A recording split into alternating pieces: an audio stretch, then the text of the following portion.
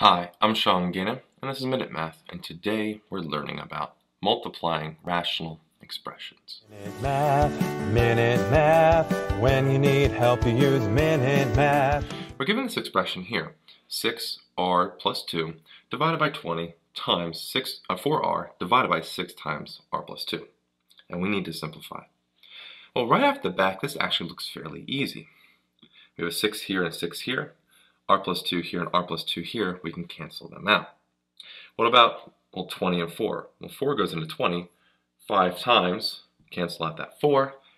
We're pretty much simplifying. this. is actually pretty easy. On the numerator multiplying across, we just have a good old r. The denominator, we're left with 5.